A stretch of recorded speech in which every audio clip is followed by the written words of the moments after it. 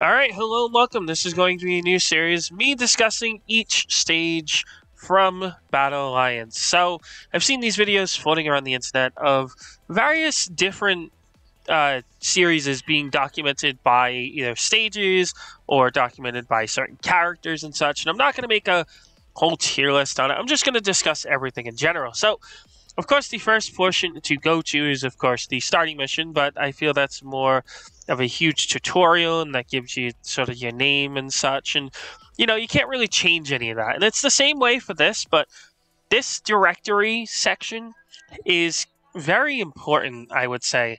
And if I had to rate it, I'd probably rate it like a B, honestly, in terms of directory wise, because it introduces you to the game. So, of course, once you complete each of these, you'll get a ticket for, I believe it's a thousand capital apiece, if I remember. So, you complete all of these practice tutorials, all five of them, I believe.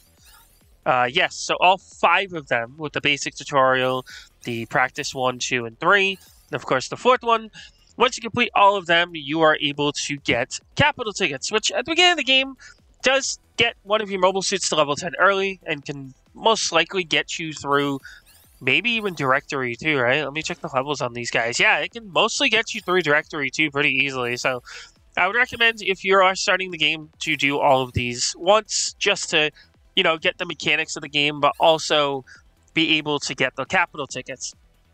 But the most important mission in this entire directory and the one that you can repeat as many times as possible, but you won't get anything out of it, you won't get any capital tickets or such out of it, is of course the free tutorial. So this is one stage in the entire game that you can choose any mobile suit, you can choose any character, and just go hog wild by practicing combos now, again, it's one of the most important missions in the game to me because when you get a new mobile suit, you're just able to, you know, do combos and practice combos and do launchers and all this other such. So you're not limited into what you can do.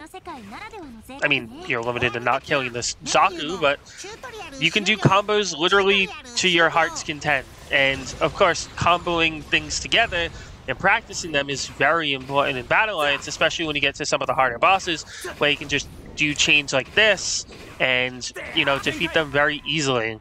Like, you won't have too much trouble. So, it's very important, and that's why I rate this section a B as a directory. So again, if you did enjoy this video, you can of course leave a comment, subscribe. Thank you so much for watching, and I'll see you guys later. Bye-bye!